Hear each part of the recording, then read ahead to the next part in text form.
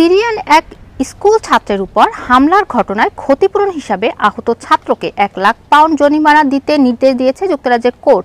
মূলত এই ছাত্রের ভিডিও ভাইরাল হয় কোর্ট মানহানির অভিযোগে এত বিপুল পরিমাণ অর্থ ক্ষতিপূরণ দেওয়ার জন্য নির্দেশ দিয়েছে।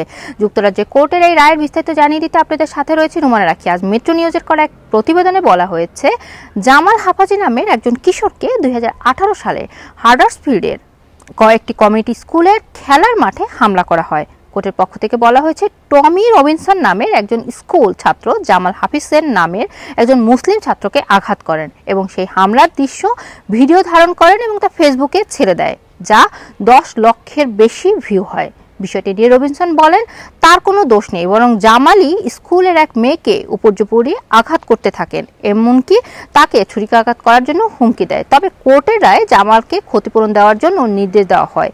আর এই ক্ষতিপূরণ হিসাবে জামাল পাবে এক লাখ পাউন্ড।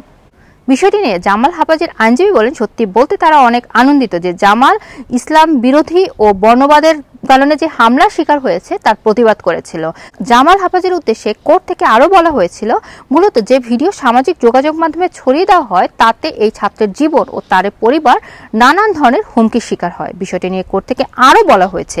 বিচার প্রক্রিয়ার সময় রবিনসন জামাল ও তার পরিবারের উপর বিভিন্নভাবে আক্রমণাত্মক আঘাত করেন, যা শোভনীয় ছিল না। এদিকে আজকে রায়ের পরে বিভিন্ন সময় মুসলিম কোনো শিক্ষার্থী হামলা বা বর্ণবাদের শিকার হলে তাদের জন্য একটি নতুন সাহসিকতা হিসাবে ঘোষণা করা হয়েছে বলে এই আইনজীবী বলেন। এই ছিল আমার কাছে যুক্তরাজ্যের সম্প্রতি একটি রায়ের বিস্তারিত তথ্য। যুক্তরাজ্য সহ বিশ্বের গুরুত্বপূর্ণ তথ্য জানুন রানারের ইউটিউব ও ফেসবুক পেজে। একই সাথে চোখ রাখুন আমাদের web page W W W runner media twenty four dot com